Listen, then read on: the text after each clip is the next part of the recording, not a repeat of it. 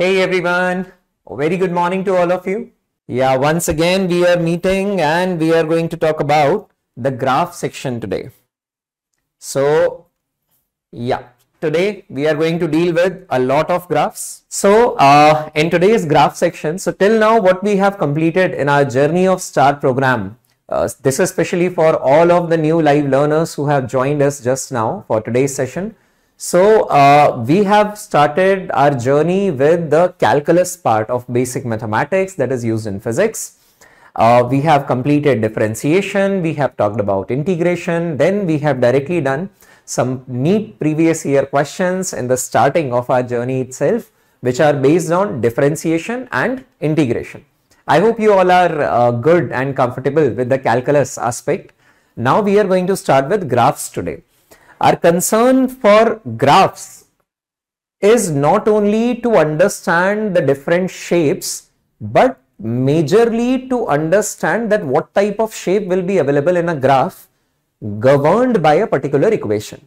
Means what sort of mathematical equations will result into straight line, what sort of mathematical equations will result into uh, parabola, ellipse, hyperbola, uh, this, that. Okay. So let us talk what we have to uh, see in this session. First of all, if I talk about straight lines, straight lines,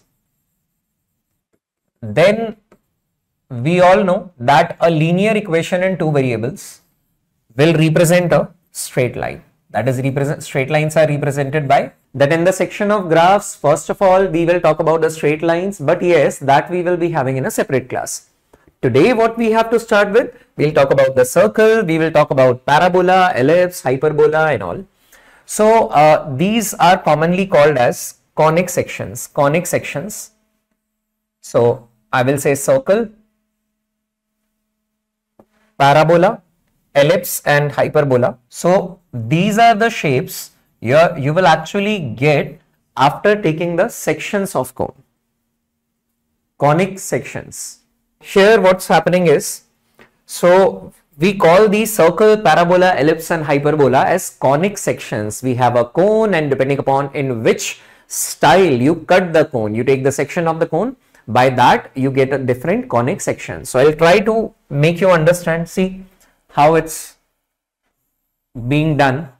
So if you have the cone and uh, you can see in a cone we can identify few shapes. This shape here is going to be a circle.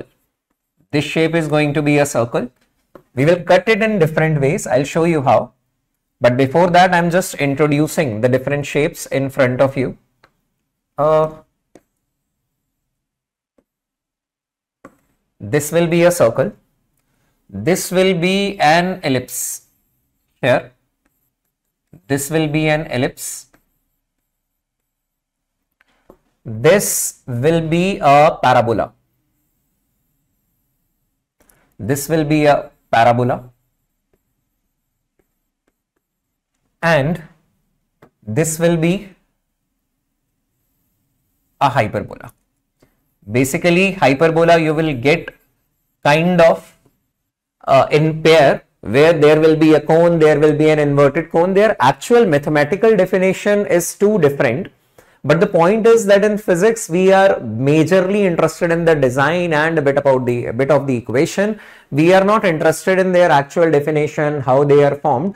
But yes, as an introduction, it's easy for us to understand that there is a cone depending upon in different ways you take the section means in different ways you cut a particular cone you are going to get these shapes. So circle, parabola, ellipse, hyperbola from the next slide I will keep introducing their equations their coordinates. For example, circle ke liye, we will talk about standard equation, common equation, center of circle and identifying the radius of the circle. Okay. And that will be definitely important for us in circular motion. So as of now, if I talk about the circle, so how do we get the circle? So we will have a cone and we will take a plane to like a blade to cut the cone in such a way that we are cutting it like this parallel to the base. This plane is parallel to the base. So if I cut it like this parallel to the base, what I'm going to have is a shape of a circle. We'll get the shape like this. We'll get this shape like this here. And if I observe it from the top, if I observe it from the top, then definitely according to me as an observer, what type of shape I got here is a circle. Okay, this is the circle. What do we, what we got here? Okay. Similarly, if I talk about this parabola, parabola. So how do we get the parabola? First of all, I would like to talk about the ellipse because that will be similar to that of circle. Obviously not same. So ellipse ke liye instead of cutting with a plane which is parallel to the base, that will be a bit inclined to the base, inclined to the base. So you see, you're having this ellipse here. So if you cut it like this, you will be getting a shape somewhat here. And if you observe it like an observer, so according to you, this shape is going to be an ellipse. I hope the idea is clear to you. Parabola, again, you will have this cone and you are going to cut it with a plane like this that this is going to be the plane. So here the shape which you can get here is the highlighted shape of parabola which I have shown. But in case of hyperbola, generally we consider a cone as well as an inverted cone here. And if you take a plane and cut this perpendicular to the base, perpendicular cut by using this plane perpendicular to the base, you are using your blade or knife like this. So what do we get here is a shape which is here and the shape which is here. If you observe it from here, you will get a hyperbola. So in our curriculum, we have a particular hyperbola, rectangular hyperbola. Then there are some terms called asymptotes, this, that, which we will uh, be rarely using. So basically, we are not going to follow the actual mathematical definition and actual in-depth mathematics for all of these conic section. They come in too much detail, but in the subject of maths. Here we are just going to introduce their basic parts in order to make their use in physics. I hope that's okay with you. I would suggest you to take a screenshot. I hope this basic idea of the graph is clear to you. We are starting with this now. Okay. I'll explain one by one. I am explaining everything hyperbola, circle, ellipse, parabola, everything I am explaining. So let us start with circle first. So we are going to start with the circle. First of all, I will talk about general equation. General equation of circle. General equation of circle will be, you will say uh, 1, this is x minus alpha ka whole square plus y minus beta whole square that is equal to radius ka square. Radius ka square. Okay x minus alpha whole square plus y minus beta whole square that is equal to radius square. How to identify sir? Suppose there is an equation given to us. How to write the equation that's okay. But suppose there is an equation given to us. How to identify that that is the equation of circle. So first property is I will say coefficient of x square coefficient of x square must see that's not a linear equation right that's not a linear equation in two variables. So a linear equation in two variable is going to represent a straight line. That's for sure. Here it is coefficient of x square. That must be equal to coefficient of y square. Coefficient of x square must be equal to coefficient of y square. Another thing is, and there is no term, no term containing xy is there. No term containing xy together as a product is there. And also here center of the circle, center of the circle is given by alpha comma beta. Center of the circle is given by alpha comma beta. Okay. And if you talk about the common equation, com this is a general equation. For example, I take one example, example one, common equation of circle. If I talk about the common equation of circle, the common equation will be x square plus y square is equal to a square. x square plus y square is equal to a square or in a better way you can write it as x minus 0 ka whole square plus y minus 0 ka whole square is equal to a square. So here you will say the center is by default defined as 0 comma 0 that is origin origin. This is the common equation of circle. And if we talk about the radius of the circle the radius is definitely a units. The radius is a units. I'll take another example so that you will get a better clarity example number 2 suppose we, we say x minus 2 ka whole square plus y plus 5 ka whole square is equal to 8 Suppose we have done it like this. Now we have identified that it matches with the standard equation of circle. See actual uh, in-depth clarity you will get when you will know circle, no ellipse, no hyperbola, no parabola and now when you know all of these and now you are going to compare. So first of all, we are just going to learn them one by one. Finally, we are going to compare all of them. Okay. So we will say x minus 2 ka whole square plus y plus 5 ka whole square is equal to 8. That matches a bit of this form. Now let us try to express it in the uh, standard form. So I will say this implies I can write it as x minus something. So x minus 2 ka whole square plus y minus something which means y minus minus 5 ka whole square is equal to something square. That something square will be root 8 or you can simply say 2 root 2 ka square. 2 root 2 ka square. Alright. So here I will say that this is a circle whose center is whose center is uh, at the point 2 comma minus 5 whose center is at the point 2 comma minus 5 and whose radius is going to be 2 root 2 units radius is going to be 2 root 2 units okay if i give you the visualization of this one so i will say this is my x-axis this is my y-axis and uh, this is my origin suppose then I will say my center is at origin O 0 comma 0 and I'm going to get a circle. I'm going to get a circle like this whose center is at the origin, whose center is at the origin and radius is you will say A units. A units means this these points if I'm going to mark then I will say this is going to be A comma 0. This is going to be minus A comma 0 this is going to be 0 comma a and this is going to be 0 comma minus a. So positive x-axis, negative x-axis, positive y-axis, negative y-axis like that. We are going to get it in this way. Okay. I hope that's clear to you Alright. So this is a general equation of circle. Now in physics, in physics, generally though they don't give this Cartesian form. Generally they don't give xy form. Sometimes they give the form of cos omega t, sin omega t, like that. So suppose they say parametric form. Parametric form. Parametric form में target क्या है target of parametric form is always try to eliminate always try to eliminate all the other variables or parameters. Variables or parameters. All the other variables or parameters. Whom you are calling the other variables sir?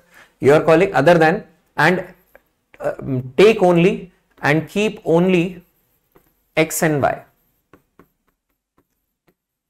for example that is parametric form में equation will be given in terms of theta or in terms of cos omega t, sin omega t like that.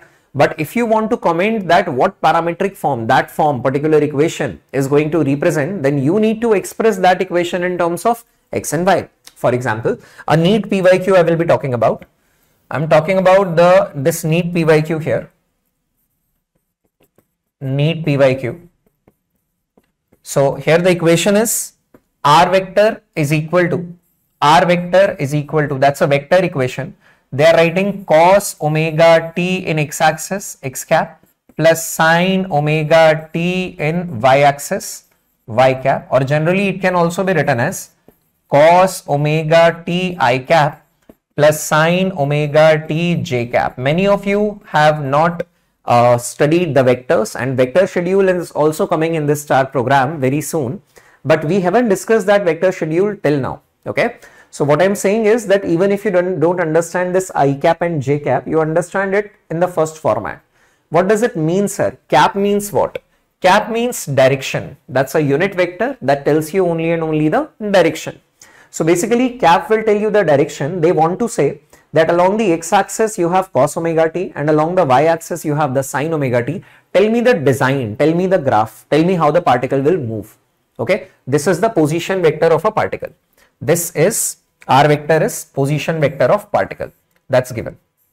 Okay, I'll mention it here that r vector is position vector of particle. Now, how to deal with that? So I will say, suppose what is written here, I will say here x coordinate is given as in the direction of x, what is given to you? Cos omega t. And y in the direction of y, what is given to you? Sin omega t. And we know that till your 10th class, we have learned the basic trigonometry in which if we want to remove this, always try to eliminate, always try to remove this omega t and this so you can say cos square omega t plus sine square omega t is equal to 1. Cos square omega t plus sine square omega t is equal to 1. We know this relation in order to eliminate that. So if x is equal to cos omega t, cos square omega t is x square plus sine square omega t is y square is equal to 1. Or in a better way, you can write it as x minus 0 ka whole square plus y minus 0 ka whole square is equal to 1 ka square is equal to 1 square so yahan pe center kya and radius what will be the radius? So you will say center is going to be 0 comma 0 that is again that's and that's the origin. Center is going to be 0 comma 0 that's the origin. And if we talk about the radius radius the radius is going to be one unit. One unit or you can also call it unity. One unit or unity. I hope the logic is clear to you. So what i am saying is that ultimately you will have a general equation of the circle. Either you can have this general equation or you will have this common equation or sometimes they will not be even giving you the direct equation. They will be giving you a different form. Matlab, you know the equation in terms of x and y. They will be using some other parameter, some other variable. In that case, our agenda is to eliminate that third parameter or the variable and establish a relationship between x and y. I hope the logic is clear. Tell me in the comment section, is this whatever is going on? I have told you many, many small things. Have you understood this? Are you able to visualize how a uh, circle looks like? Yeah, good morning, good morning. Morning away. What is the meaning of cos omega t? We are not getting into too much meaning of cos omega t and sin omega t right now. What you can understand is if instead of cos omega t, if I would be writing x is equal to cos theta and y is equal to sin theta, will you be understanding this? Because theta will be a third variable or a parameter and our job is to eliminate the third variable and the parameter. Okay, so whether it is m, k, alpha, omega t, theta, whatever it is, it is ultimately a variable. Okay, just like you are happy with uh, x-axis, x variable, y variable and z variable, now onwards you can also be happy with theta, alpha, beta and all. There is a meaning definitely, but right now we are not getting into the meaning because it will be unnecessarily complicating the story. Till now the story is clear for us. Yes, yes. I'll give another example also. As of now, let's take a screenshot. Take the screenshot, then we will move ahead. Okay good चलिए एक small explanation लेते हैं but we will take the explanation I will give you the explanation with the sorry I give you some more examples after the comparison comparison so first of all we are good with circle as of now we are good with circle okay now we have to talk about ellipse then parabola then hyperbola when we will be knowing everything after that after a few days in fact we will just clear cut take the graphs, then we will take their uh, examples and distinction also. So I hope you have taken a screenshot. Now I am moving ahead with ellipse. Ellipse. Now, the ellipse general equation is x square by a square plus y square by b square equal to 1. Let's feel a bit about it. If I try to define this uh, here, that how, how do you define the circle? I will say collection or locus of all points. Maths may generally we use the term locus. In order to feel that we are using the term collection. Okay. Locus of all points which are equidistant. Equidistant from a fixed point. From a fixed point. In a plane this if this will be happening if if this definition is written in a plane for in a plane. Just shifting it a bit if I say locus of all the points or collection of all the points in a plane, all the points in a plane, because if you talk about in a space, try to feel it, there is a fixed point, fixed point called uh, center. From that fixed point, if we talk about at the equal distances, equal distances, and if we join all the points in 3D, then you will get a sphere but if you talk about in a plane, in a plane, then instead of sphere, we will get a circle. So collection of all the points which are equidistant from a fixed point. This equal distance is called the radius of the circle and this fixed point is called the center of the circle if you are talking about a fixed plane. But if you're talking about a plane, but if you talk about three dimensional space, then this fixed point will be called as center of the sphere and the distance will be called as radius of the sphere. Sphere we are not talking about because our interest for today is graphs. Okay. Is that clear? All right. So this is all about the basic definition of circle, how to feel that. I'm talking about ellipse and the notes will be definitely uh, shared in the telegram group. Whosoever out of you has not joined the telegram group, you can right now click on the description of the video and there will be a telegram link. Click to that link and join because there all the updates and class notes and everything will be coming on the telegram group itself. Okay? Chaliye. Ellipse ke bare mein if we talk about the ellipse then we will say x square by a square plus y square by b square is equal to 1 how it looks like? First of all we will see how it looks like. So we'll try to understand this if x equals to 0 see if x equals to 0, then you will say y square by b square is equal to 1 or you can also say y will be equal to plus minus b. So the two points which you are talking about, you have got two points from here that when x equals to 0, x equals to 0 means y axis. The two points are 0 comma b and 0 comma minus b. The two points are 0 comma b and 0 comma minus b.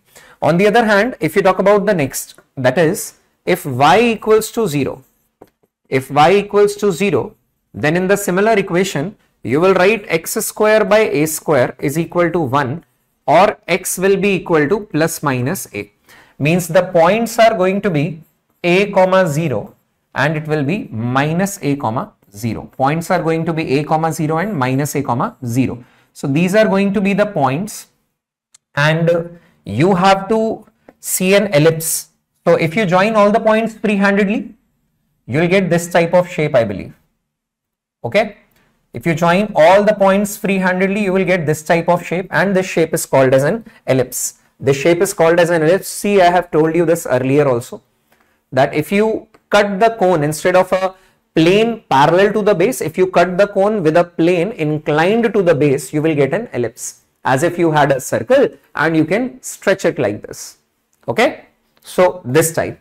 In physics, in physics, how do we, uh, like what are the parameters we are interested in related to the ellipse? So we will get a, uh, we will get here the equation of the ellipse, the A and B, the lengths which you can see. And whenever we define an ellipse, there are two special points these are called the foci of the ellipse, F1 and F2. F1 and F2 are called the foci. Single is focus. Their coordinates as of now, I want you to remember as AE comma 0, AE comma 0 and minus AE comma 0 where E is called the eccentricity. Is called the eccentricity. We will talk about the eccentricity and all in later stages. Abhi nahi. And right now you don't have to get into it. Uh, you just need to understand that this, that this here is E is referring to the eccentricity. E is referring to the eccentricity and for ellipse the term eccentricity is less than 1. For ellipse the term eccentricity E is less than 1 that is why AE distance is coming out to be less than A. AE distance is coming out to be less than A. Okay. So if I talk about the different distances now, then I will say this A is the distance A. This is the distance A that is called semi-major axis. 2A is major axis, A is semi-major axis. Similarly, B is this distance B here this distance B here, what you can see is semi-minor axis. Minor axis is B, total distance. This half of it is semi-minor axis. Okay, so as the name itself suggests, semi-major axis, complete 2A will be major axis, B will be semi-minor axis, complete 2B will be minor axis. Okay, that's going to be the situation. Now here, if I particularly talk about uh, that what type of equations, what type of uh, equations in physics will give you the ellipse shape. So example देखते हैं. One example will be if I write V is equal to omega under root a square minus x square, a square minus x square and the question is plot a curve or plot a graph between V and x. so how do we do that? First of all, we will try to, our agenda is to get a Vx curve. V will be dependent on x suppose. And I want to get the exact design and the exact equation. So this is, this will come in a chapter. This will come in a chapter called oscillations. Oscillations or simple harmonic motion SHM in class 11th. So that will come near the end of class 11th but that will be uh, one of the uh, uh, points that will be one of the chapters and one of the points where you will be using the elliptical equation equation of the ellipse apart from that there is a chapter gravitation in which different laws will be there so yes just like circle has been very common for all of you till now similarly from now onwards ellipse parabola hyperbola will also be similar so we are trying to see how to simplify this particular equation देखिए we are interested in v versus x, so I will try to isolate both of them. I will square both sides. Squaring both sides, what you will get? After doing the square both sides, you will get v square is equal to omega square and that's a square minus x square. Then you can shift it here. v square by omega square that will be equal to a square minus x square. The next step will be v square by omega square plus x square is equal to a square. Or or if you want to write it further I'm writing it here. If I take this a square in the denominator of both the equation will be x square by a square plus be careful it is v square by omega square a square. Can I write it as v square by omega a ka combined square? And hence that will be equal to 1 that will be equal to 1 so if you notice this particular equation, the way I have told you, put x equals to 0, get the value of y. Similarly, put y equals to 0 and get the value of x. Similar thing if you try to do here, then what you will get? Ultimately, we have to mark the points. If I put, I'll analyze this separately here, see. If I put x equals to 0, if I put x equals to 0, this entire term is gone and you will get v square as omega square a square. Then we will get v as plus minus omega a. Similarly if I put v is equal to 0 then this entire term is gone. And we will have x square by a square is equal to 1 that means x will be equal to plus minus a. Okay? So what you can say? Put v equals to 0 if you put v equals to 0 x is equal to plus minus a. So you will have this point these points here that's a comma 0 and minus a comma 0 so on x axis v value will be 0 and on v axis x value will be 0 so if you put x value 0 you will have it as a omega and it is minus a omega. So that will be coordinates will be 0 comma a omega 0 comma a omega and it will be 0 comma minus a omega 0 comma minus a omega. And hence if now you try to join it free-handedly now if you try to join it free-handedly definitely you will get this type of shape. So if you exactly join them and you will get this type of shape this again gives you a feeling that it is an extended circle. Although in physics now onwards you don't have to comment about the name on the basis of how it appears. No, the design will not decide the name. The equation will. That's why I'm talking about the design in secondary step and primarily I'm talking about the equation. You can notice. I have taught about the equation first, then I am talking about the design. Similarly, in the circle, I have talked about the equation first, then I am talking about the design. So if it is a proper circle, you will definitely be able to identify it by its own appearance. But if it is an ellipse, then the, the by every mode, if you modify a circle, you are not going to get an ellipse. Ellipse will be named as the ellipse only if the equation matches with the standard one, otherwise not.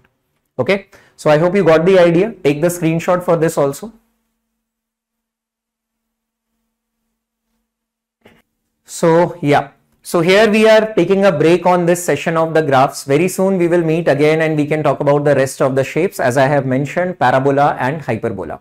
Okay, so now you can take a break and I think the connectivity is also smooth now. So in next five minutes you are going to start with your chemistry lecture.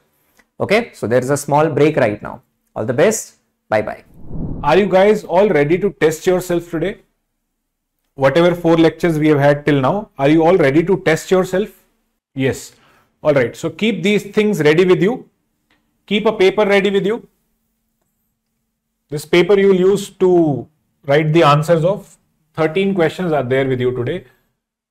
Okay, 14 questions are there. Just mark 1, 2, 3, 4 up to 14. Mark 1, 2, 3, 4 up to 14. Keep a rough page with you, rough notebook with you. Keep a rough notebook with you for the rough work okay? Each question is going to carry plus 4 if you get correct.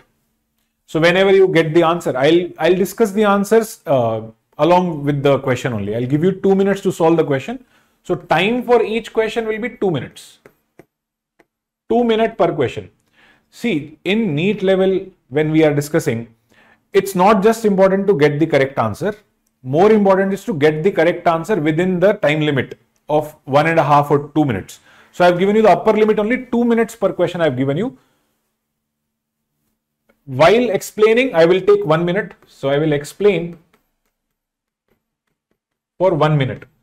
So like this total three minutes per question I will take. Three minutes per question I will take. Total questions are going to be 14 questions. So maximum marks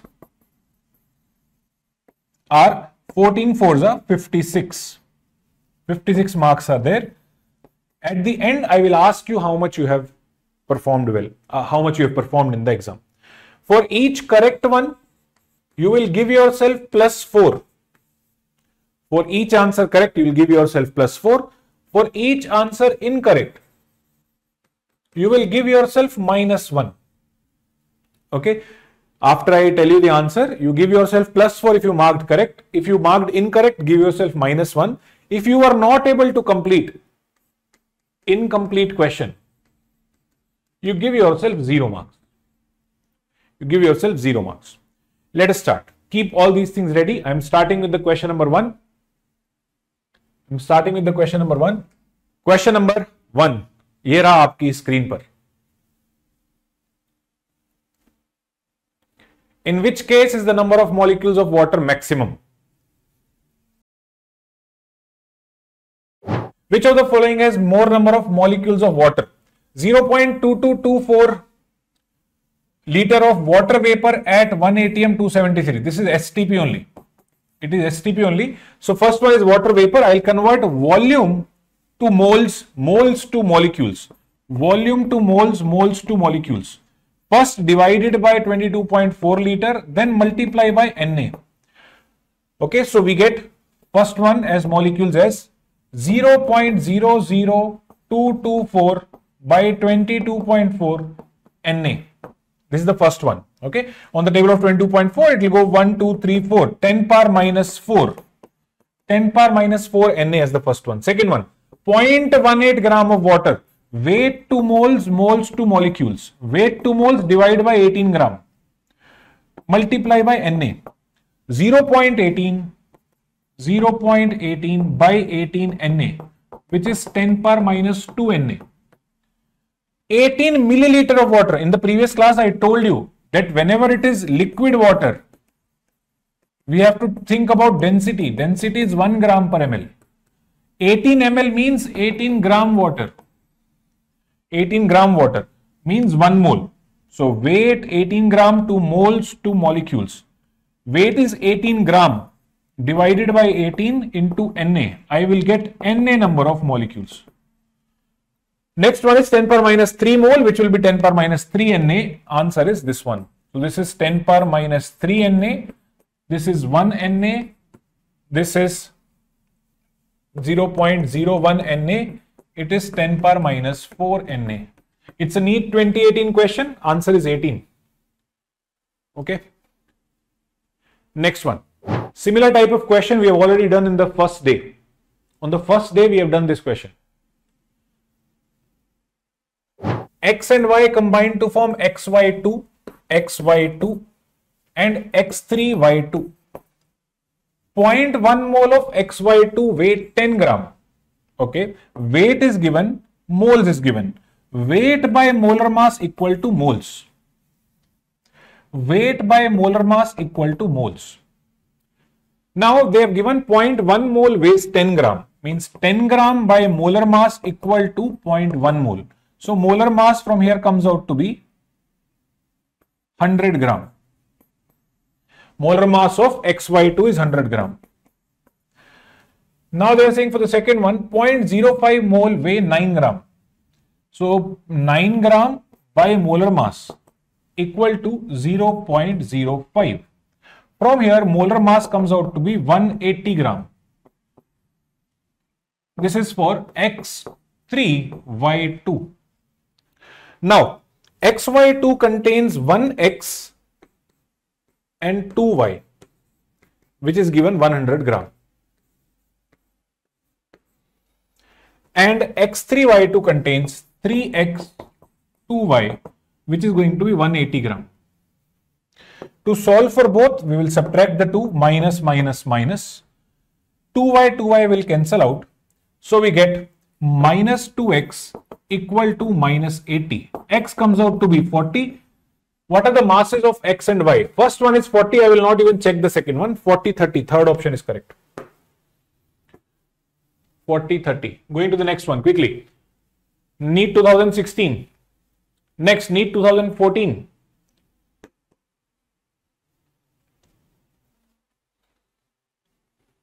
Equal masses of H2O2 and methane.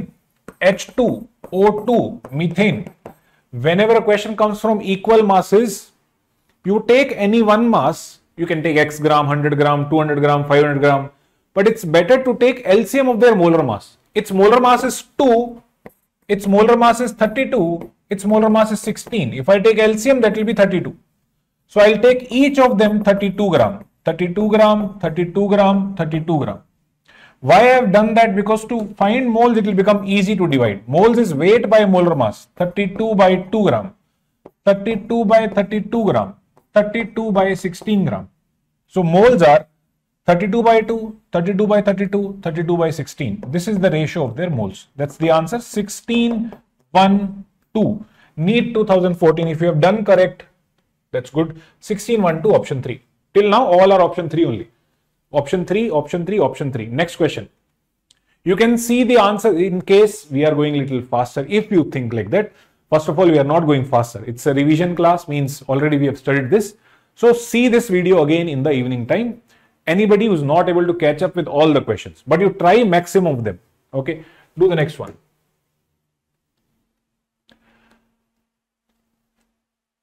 This one is little easier one, so we'll quickly do. Or if you can check pens down.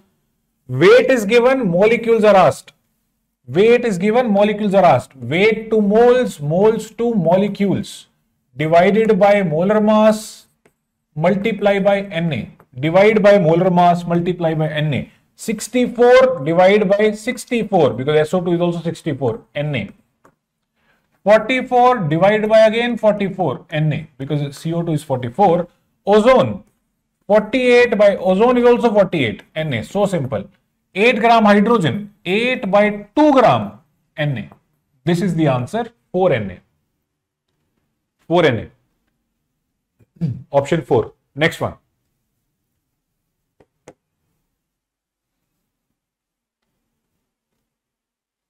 Number of atoms in 0.1 mole of triatomic gas. Triatomic gas means a gas like ozone or just we'll say X3 or something like CO2. Any gas which contain three atoms per molecule. So in ozone, I would say, let's say, moles are given 0.1 mole, atoms are asked. So I'll go from mole to molecules. Once I know number of molecules, I can reach to atoms as well. How do I say that? Or you can just use the unitary method. What was unitary method? 1 mole ozone contains Avogadro molecules. Each ozone has 3 atoms. So Avogadro molecules will have 3 Na atoms. This we are comparing with this. Moles are given. So I'll keep 1 mole O3 has 3 Na. 0.1 mole O3 will have 0.3 Na. That is the answer. 0.3 times 6 times 10 power 23.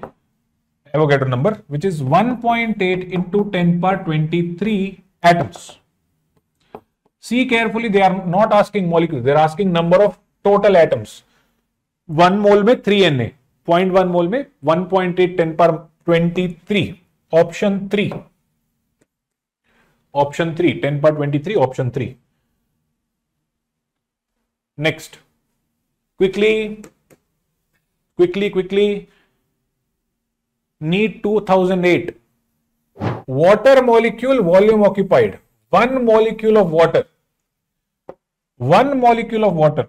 First of all, water is not a gas, it is a liquid. For liquid, we use density 1 gram per ml. So, by unitary method, I can say unitary method I'm using. Whatever I know about 1 mole, I will write. I will say 1 mole water means 18 gram water. No problem. Because density is 1, I can say 18 gram water. In other words, I can say 18 ml water. Because density is 1 gram in ml. So when I take 18 grams of water, there will be 18 ml in it. 1 mole water contains how many molecule? Avogadro molecules.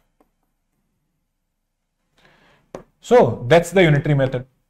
Now they're asking us molecules is given. I'll keep it on left hand side. Volume is asked. I'll keep it on right hand side. That's all. Finish. Na molecules occupy 18 ml.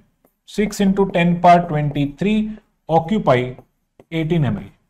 One molecule occupies 18 by 6 into 10 power 23 ml milliliter. All the options are in milliliter only because centimeter cube means milliliter. So I get 3 into 10 power minus 23 ml. Those who have answered it correct, very good. Very, very good. Option 1. Keep it up. Keep it up. Clap for yourself. Those who have answered it correct, it's a good question. Most of you might do a mistake here. Okay. Next.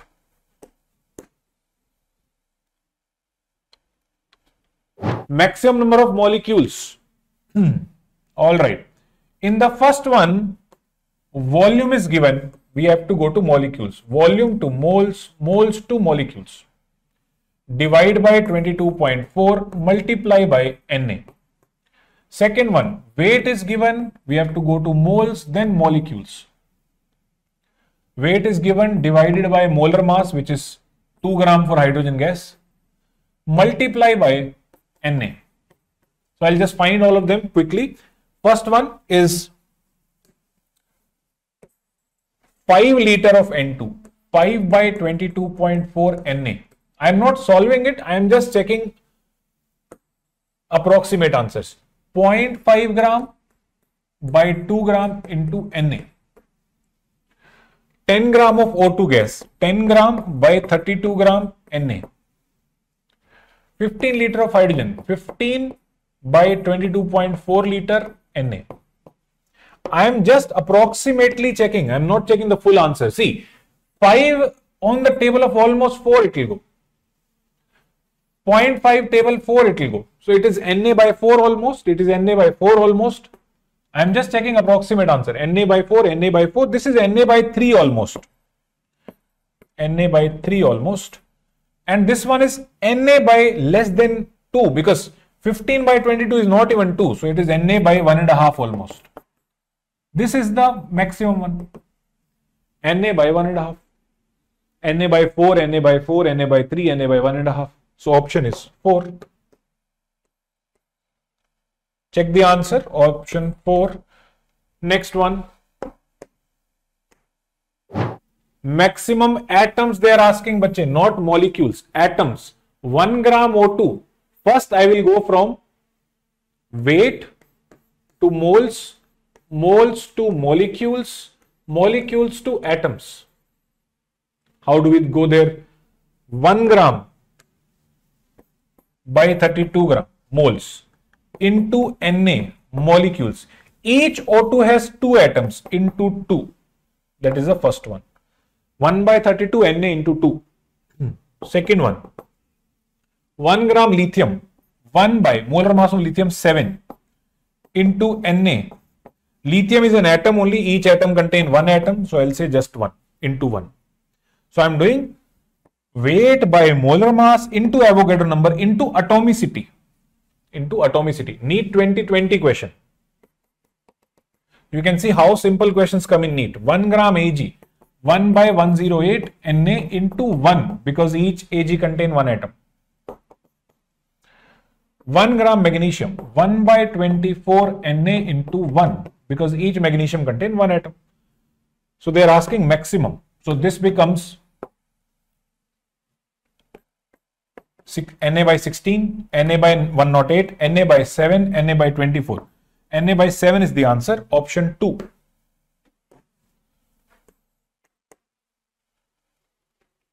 Good.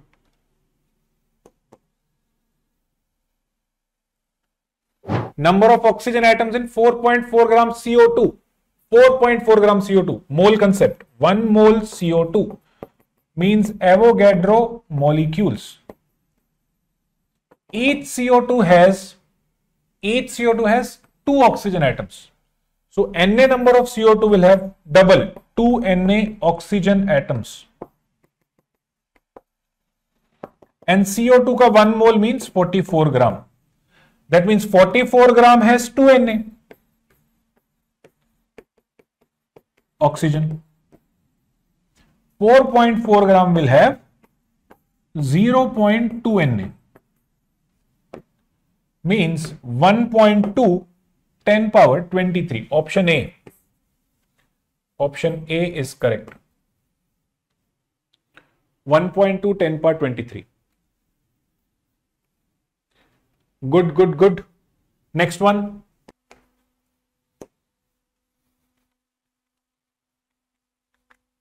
Cc cc means centimeter cube 1 ml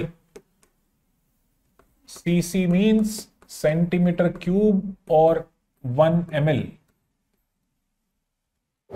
1 ml by 22.4 liter, I can say 22400 cc. This becomes moles into Avogadro number. These are the molecules. 1 by 22400 Na. So, molecules. So here this option though is correct, but because all of these is also there, so we have to check the other things else as well. Each molecule of N2O contain three atoms, two nitrogen, one oxygen. So if I multiply molecule with three, I'll get atoms. So I'll get 3 Na by 22400 atoms. Means 3 into 6 into 10 power 23 by 22400 atoms. Means 1.8 10 power 20 1.8 10 power 24 or that's correct only I can write it as 18 into 10 power 23 by double two four double zero. Now I'll cut these two zeros and say this will become 21. So it will be 1.8 10 power 22. This is also correct everybody. This is also correct. If two are correct, let's not check for the third one. Reason being it's NEET. We are not proving to anyone that we know the answer. We are not proving to anyone. We just want to get the correct answer. Check the next one yourself later. Okay. Next one, the last question, 13th one. Sorry, 12th one. 12 will do. We'll do 12. 1999. 1999. I was born by this time. By this time, I was born. I was there in the world, but maybe I didn't start studying. Number of atoms in 4.25 gram of ammonia. Ammonia mole concept. One mole ammonia means 17 gram ammonia means Avogadro molecules. But they are asking for atoms. Each ammonia has 4 atoms, 1 nitrogen, 3 hydrogen. So Na will have 4 Na atoms. 17 gram, 4 Na, finish. 17 gram, 4 Na. 17 gram ammonia means 4 into 6 into 10 power 23 atoms. 1 gram will be 4 into 6. 4 into 6 into 10 power 23 by 17. Now if I take for 7.5 gram, 4.25 gram, sorry, 4.25 gram, this whole thing will be multiplied by 4.25. 4 fours are 16, 4.25 fours are this one. 4 and 4 will cancel out. So Na will be the answer. 6 into 10 power 23. And that's option D. That's option D. NEET is simple but tricky. Okay. Good observation. 1, 2, 3, 4, 5, 6, 7, 8, 9, 10, 11. 11 questions we have done. All right. Now comes marking. We did 11 questions today. Maximum marks 44. Comment down your marks quickly. There are three homework question after this. Homework will be just this PPT you will get, the same PPT. Do these questions again in the evening and last May two questions are given. See this one as well as this one. So two homeworks are there today. Now because you have solved many questions, no, now I will today send you one assignment sheet as well. 10 to 12 questions. In lecture 4, these questions which we did not solve, this one, this one, 3, 4, 5, 6, 7.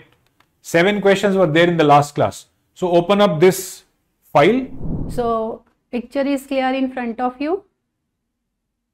Last time we have discussed the reproductive part of the plant, flowering plant, the flower we have started last time, right? A small recapitulation for the points what we have discussed. So right now a small revision from the reproductive part of the flowering plant that is a flower. Last time we have discussed in this reproductive part we are having the two categories of the part. One is the essential. Second is the non-essential part of the flower, right? I am giving you some name of the part of the flower.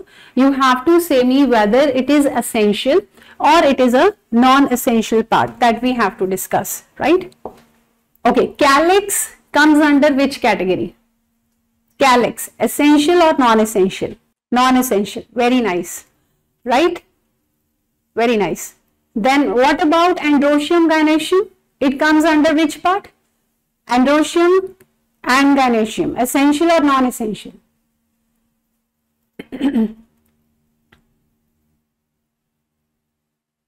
Essential very nice. So here do remember we are talking about essential parts gynoecium and androecium why it is essential? Because here the gametes have to be formed and which involve in the reproduction sexual reproduction of the flowering plant then later we discussed the types of the flower like uh, one of the examples we have discussed bougainvillea can you say me bougainvillea whether it is a complete or incomplete flower Bougainvillea. Bougainvillea is a complete or incomplete flower. Incomplete, very nice. It is an incomplete flower, right? That is one category we discussed. Then based on sexuality of the flower, we discuss unisexual, bisexual flowers. Then even we have discussed the non-essential parts of the flower where we have discussed the essential non-essential like calyx and the corolla and at last we have discussed about the estivation means how they are arranged we discussed the various types of estivation in the last lecture last topic.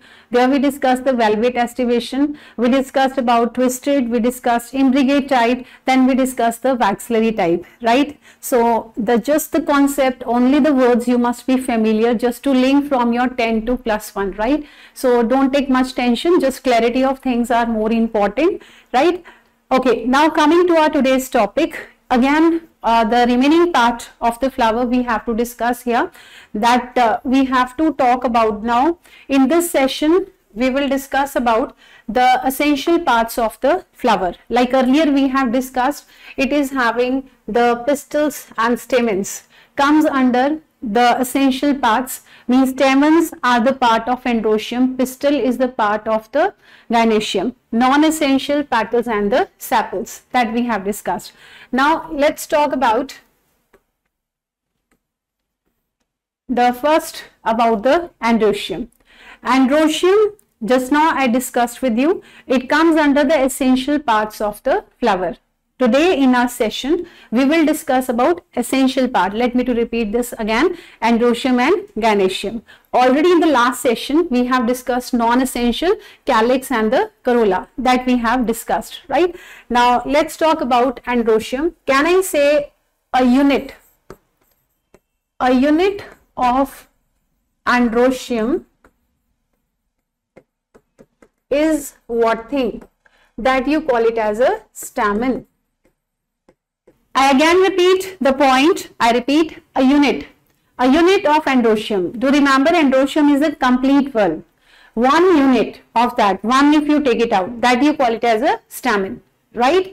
Stamen, other name is what? Microsporophyll, right? And typical stamen. What do you mean by the typical stamen? Typical means which is you are assuming all the features are there which can be in different plants but right now you are considering in one go in one stamen that you call it as typical. Otherwise all the characters which you are assuming ideal one which is making a stamen maybe it is not in one but you are assuming it will be in all one that you call it as a typical. Now coming to the parts of that typical stamen it consists of two parts.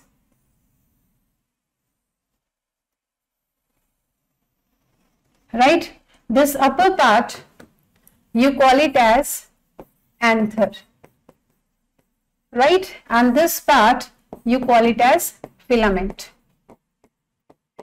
right? This is very important thing to remember. Two parts of one stamen i am discussing. Such type of man, many stamens are there which are making the complete whorl androecium right? Now anther in a typical stamen that is bilobed. Right? Can you see it is bilobe? But still its bilobe character will be clear when you cut its transverse section means horizontal section when you cut it then it will be more clear.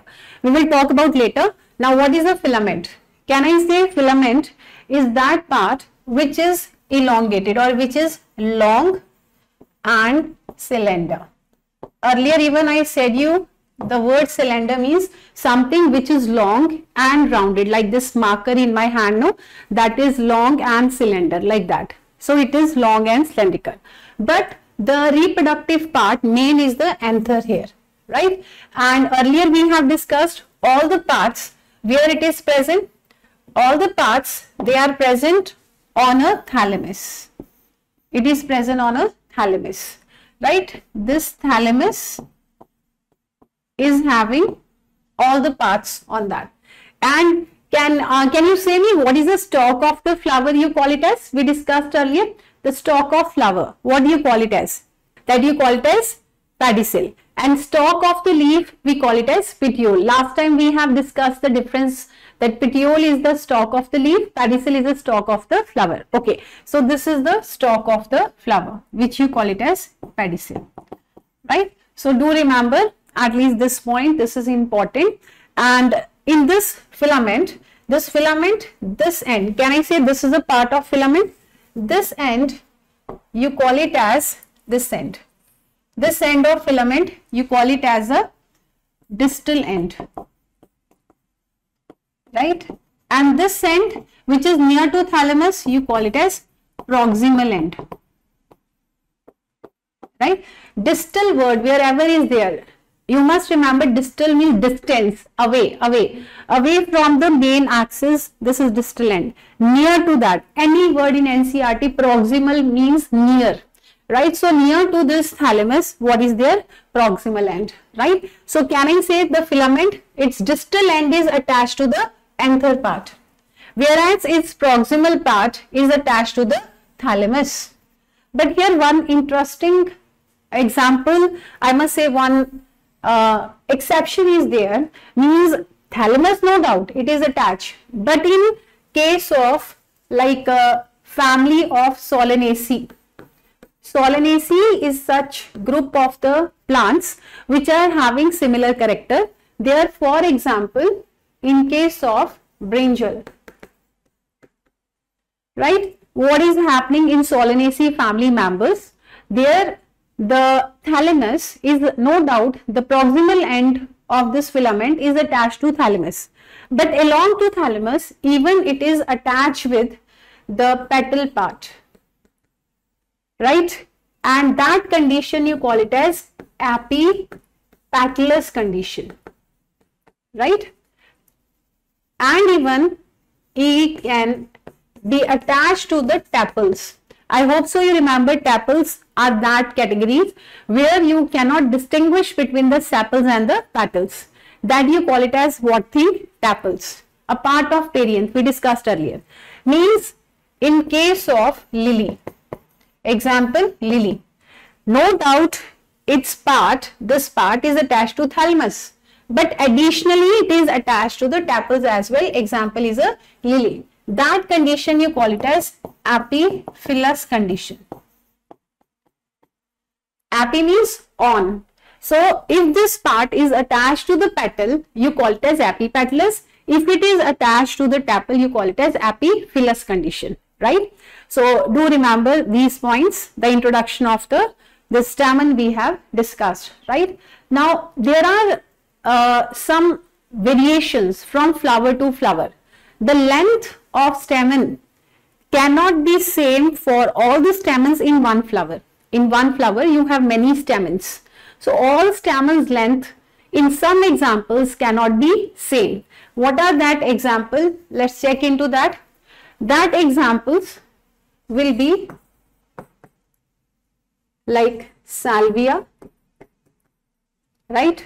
And even in case of mustard.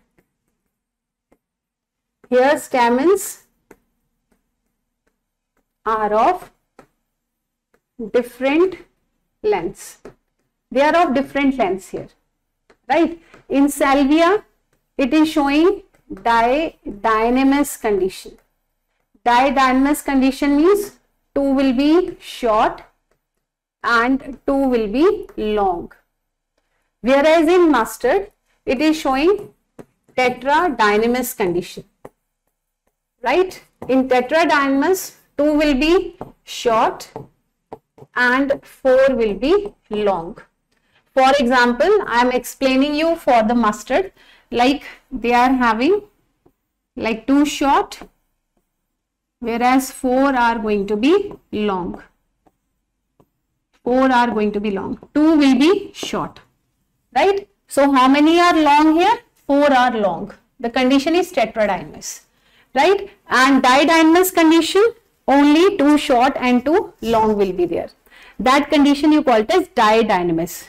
Right? Di word and tetra word correlate with the long one. Are you getting that? So two are long, so didynamous. Four are long, you call it as tetradynamous. Here example is mustard, here example will be salvia. Right? So usually it is of same length. All stamens will be of same means filament length will be same on which this uh, anther will be there that will be same. But in these examples it can vary. The length of that stamens will vary due to the length of the filament. Getting that? Now coming to the next point, there you are having the types of the androecium means the based on their fusion or whether they are free based on that. Some terminologies are there. Like if i discussed in case of um, calyx you remember we discussed the word polysepalous and gamosepalous these terms are related to the calyx.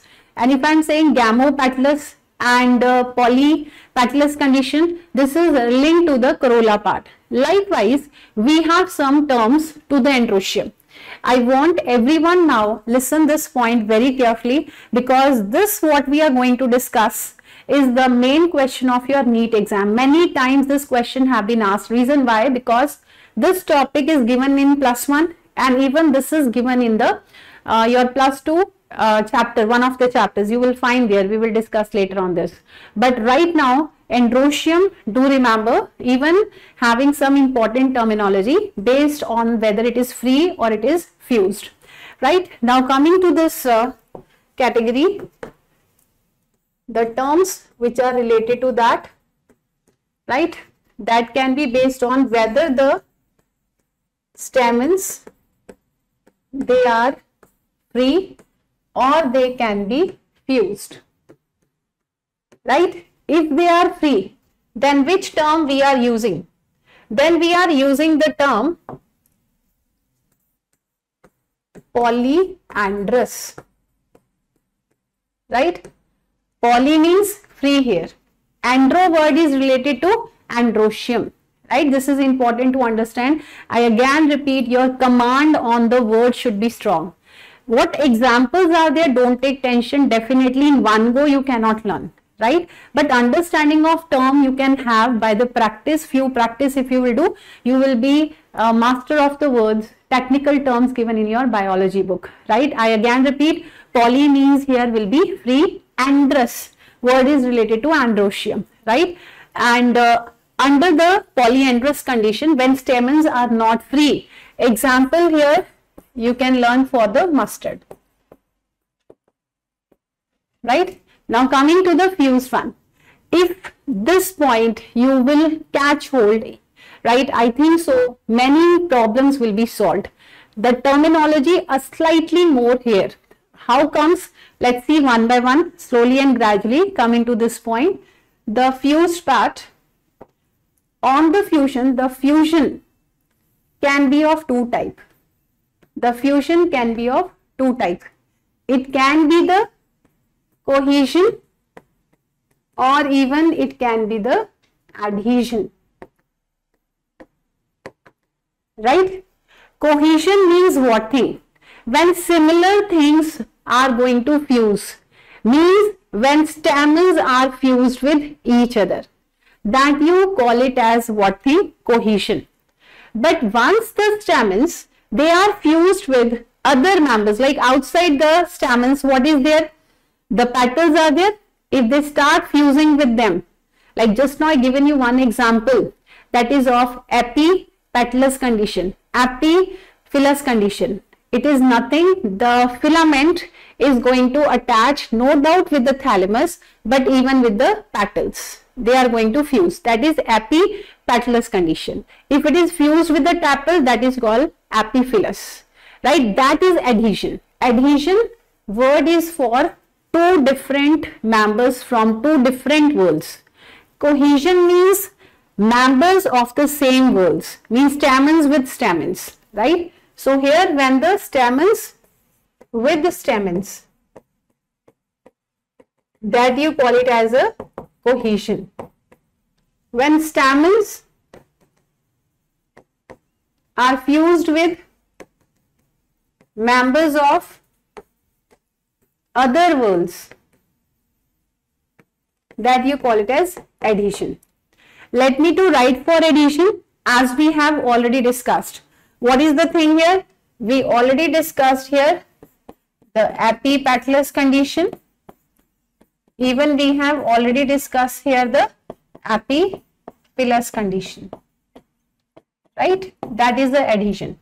The stamens are fused with the members but with the other whorls of the flower. Now focus on the cohesion right now. In the cohesion, what will happen?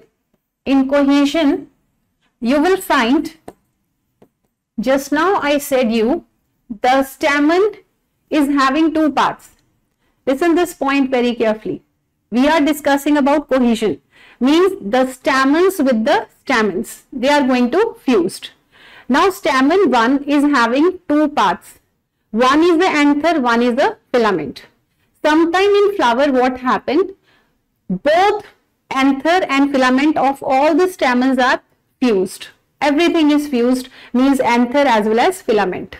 Right? Sometime what will happen? Only the anthers will fused means only the tip part. Only tip part will fused. But filament will not fused. I repeat once again during cohesion, stamens with stamens may be all stamen fused completely from anther towards the filament, everything fused. Or sometime what happen? Only the anthers are going to fused, but filaments are free. Or sometime what will happen? The upside, the anthers are free, only filament are fused. Three conditions can be there. I will write here only filaments are fused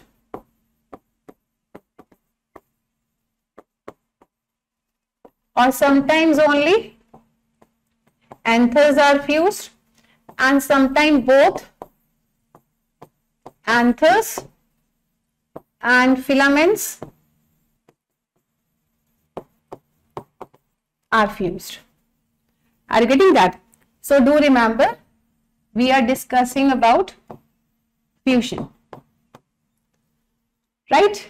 In your syllabus, you are having this part. This is important. This is important. We have to focus on this. Right? Now, only filaments are fused. That thing you call it as what? Adelphi. What do you call it as? Adelphi. When Adelphi will happen? When only filaments are fused. That you call it as what? Adelphi. See, I didn't write the word androus. I have written the word Adelphi. Don't confuse the word androus and Adelphi. Adelphi means fusion, but fusion of what thing? Only filament. That you call it as Adelphi. Now we have to discuss about this Adelphi. I am writing on a separate page now regarding this Adelphi. Two, three points we have to take for this. Let's talk about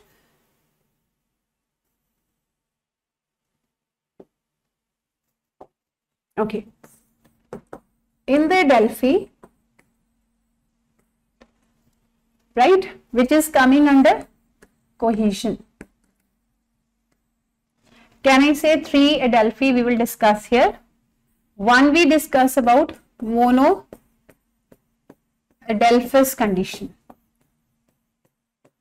Second is di Adelphous condition Next, we will discuss about polyadelphous condition. Right? Mono means one. Adelphus means fusion. I repeat this point, very important, very important. I need your attention on this point. Earlier in previous slide, I said you the word about polyandrous. Polyandrous means free, where the stamens are free. Now I am discussing you the word poly. Uh, here I am talking about polyadelphous. Polyadelphous means now fusion is there, right? Polyandrous. Polyandrous, I repeat, when stamens are free. Polyadelphous means they are fused, but they are filaments. Then what is the difference now between monoadelphous, diadelphous, polyadelphous? In monoadelphous, the filaments are fused such like that they are giving one single bundle. The filaments are fused to give rise one single bundle that you call it as monoadelphous. What will be the example here? Here the example will be China rose will be the example. Scientific term even I mention you hibiscus. Do remember this is very important point and here you should know that China rose is um, scientific name is hibiscus. Many times China rose have been given in your NCERT. That's why here I am giving you its scientific name as well hibiscus. Even commonly you call it as a shoe flower. Anyway, they can give you this word. So be careful about the terms and the examples. Especially very important example I am giving you focus in the class. Just uh, memorize that thing later. But right now the concept we are taking. Diadelphous di means what thing? Two when they are when they are making two bundles right? One bundle fused together that all fused together making one bundle. And one is not going to be a part of bundle. I repeat for example in case of pea let me to give you with an example pea. In pea you are having total 10 stamens in one flower. I repeat in pea total how many stamens are there? 10 stamens are there. But out of 10, 9 will fused to give one bundle, but one stamen will be free. So can I say you will get two types of uh, things over there, one as a bundle and one without the bundle or you can get two bundles, one of 9 and one is of 1 only right? So 9 plus 1. This type of thing is a diadelphous. It is showing 9 plus 1 arrangement. 9 they are fused. This bracket is saying they are fused. 9 are fused, 1 is free. So that is diadelphous condition, right? Now polyadelphous. They are fused like that that you are having many bundles of the stamens when their filaments are fused. Here the example will be of citrus right? So be careful about all these things what we have discussed. Main confusion point I memorize you once again polyandrous and polyadelphous. Polyandrous having the free stamens whereas the polyadelphous this uh, polyandrous I repeat polyandrous is having free stamens whereas the polyadelphous they are having many bundles many bundles of the stamen after fusion of their filament. Is that clear? Okay, now coming to our Next, essential organ. Up to here, we have discussed regarding the androecium, where we have discussed about all the concepts of that, that which type of uh, condition is there, whether it is a free or it is a fused form. If fused, whether it is a cohesion type, means among themselves they are fused or with the other members of the other whorls they are fused, right? Epipetalous condition, example like we have discussed Solanaceae family members. We will discuss what are families. Just right now you must remember the families are the group of the similar flowers. You are keeping them together based on their some common features. Then poly, this epiphyllous condition. What is an example over there I said you? Epiphyllous condition that is of lily. I have said you, right? Now coming to the next essential part. What is that? That is the gynoecium. Now, can I say in the gynoecium, we are having uh, carpels or pistils which are fused to give one whorl of the gynoecium. Can I say a single unit, a single unit here, you call it as pistil or even we can call it as a carpel. Right now, let's talk about the parts of the carpel or I can say of the pistil. What are its parts? But do remember, likewise, we discussed one stamen, even you call it as microsporophyll. In the same way here, the pistil or carpel, you call it as megasporophyll. Right? So let's talk about its parts. In the stamen, we have discussed it is typically having two parts, anther and the filament. Right now, we have to take the parts of the carpel or pistil, which are three main parts of that, which is uh, there. We will take like one by one. It is made up of stigma, style, and ovary. Three parts are there, right? So, which is the first one? This is the stigma. This part, this you call it as a style and this one bulge one that you call it as ovary. Right? And where it is attached now? It is attached to the thalamus. Right? This is the thalamus part. And this is which part? This is the pedicel part. Right? Now what is the stigma? This is the receptive part. Receptive part of the carpel. Why you call it as receptive, receptive part? Because it is receiving pollen grains. When pollens are released by the anthers. Now, let me to show you one more thing that if I discuss the word pollens now, where it will be. Like if I am taking here, this is an anther. I said you anther is the main reproductive part. When you cut it transverse section here, what you will find? You will find on its transverse section like this. Let me do talk you here about anther little bit so that you must know what are these pollens, right? You are cutting that section, you will get somewhat like this type of thing, right? Outside you are looking to that like this part. Right? I have just cut that bilobed anther like uh, horizontally ts you call it as transverse section of anther. This is a transverse section of anther. Transverse section means horizontal section will be there. Here you will find there will be the presence of the sac. Sac means like a bag is there. Like four test tubes are there na? They are there inside it. That is filled by what thing? Pollens. Right? All are filled by the pollens. These sac this blue color line circle line what i have given here this you call it as microsporangium or you call it as a pollen sac such type of how many pollen sac are there right now in front of you? Four are there in a typical stamen. In a typical stamen. How many this pollen sac are shown over here? Four. Now inside what is present? Now here the pollen grains are present.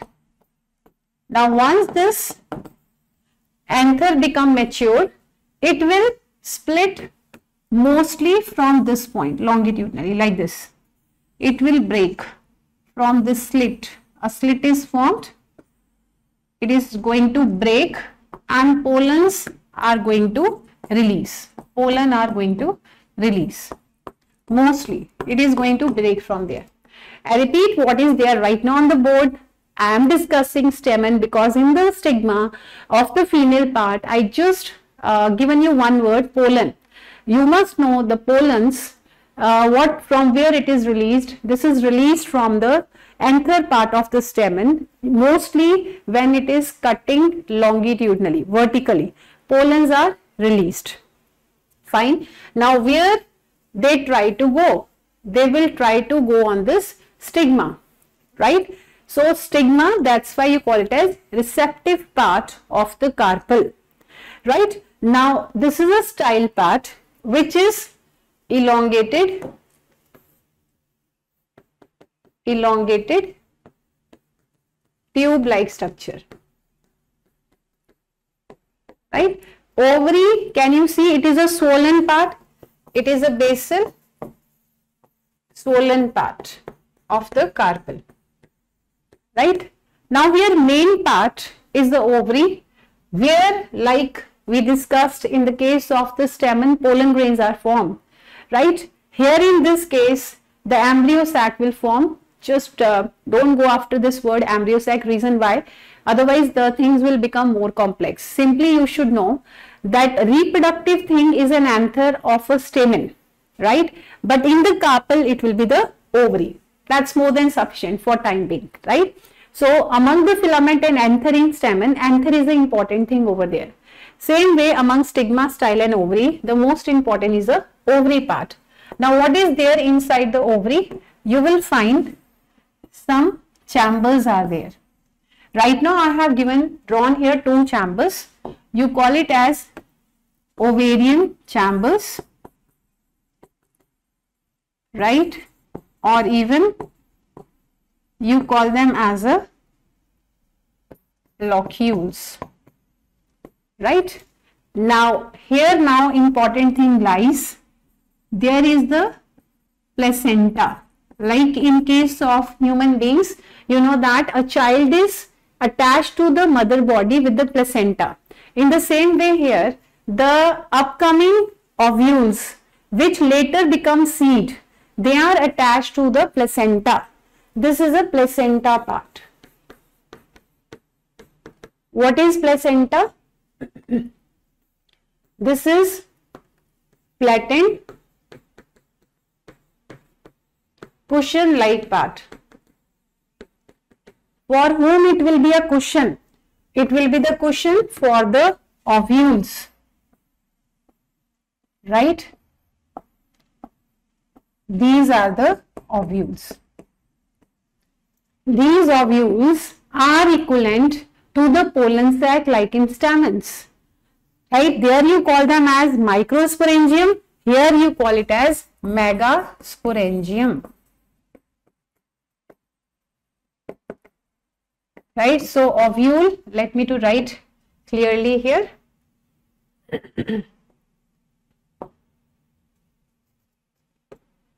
I am writing here the word microsporangium right? What is that? Of ovules just a moment. I must write here megasporangium megasporangium right? Megasporangium, right? And microsporangium, that will be equivalent to what thing? Pollen sac, right? Even I discussed today, megasporophyll, that is equivalent to what thing?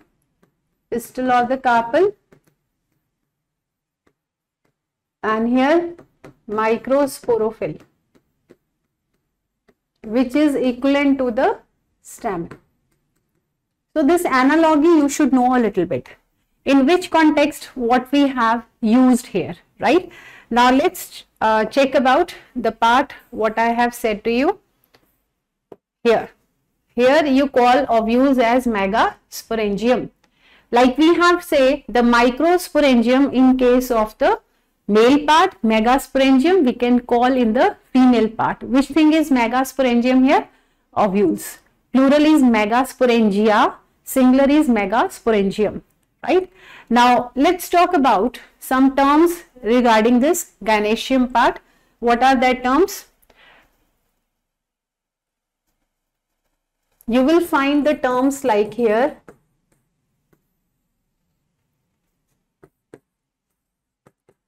apocarpous and the syncarpous. Right? Apo means what thing? When the carpels are free. Now here you are not using the word poly. Here you are using the word apo here. When the carpels are free. right? Car carpus means for carpels. Syn means fused. When carpels are fused, that condition you call it as what? Syncarpous. What is an example for apocarpous condition? Here example will be for rose and for the lotus. Here the example can be for tomato, for the mustard. I'm taking that only examples which is given in your NCERT book. Otherwise, many more examples are even there. Right? Just focus on your NCERT book only for example. Right? Don't go after extra books for extra examples over there. Focus on NCERT. Right? So here I'm using that only examples which is given in your NCERT book. So these terms are related to the gynoecium part. Now last topic of our day is about the when you cut the ovary you will find the various types of ovules i mean to say the ovules are arranged in various types. I repeat this point when you cut the ovary you will find the arrangement of ovules varies from the species to species. That arrangement you call it as placentation. Let's check on this point. Placentation types of placentation. What is placentation? Let's talk about this thing. Placentation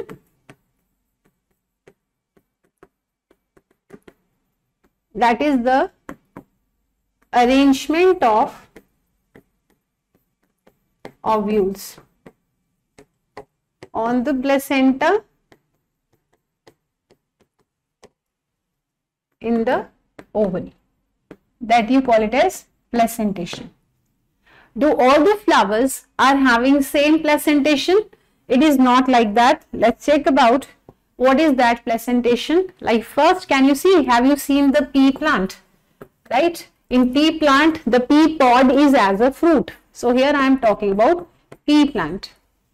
This arrangement of ovule where you will find they are present on the margin. What mean? Ovules. These are the ovules. When ovules are present on the margin of the ovary and in this ovary when you will open the pea pod can you see only one chamber is there that is the unilocular ovary unilocular ovary when you will find only one chamber inside it now, when you open that, can you see the peas are arranged in two rows over there, but on the margin. That's why this placentation, you call it as which placentation? Marginal placentation.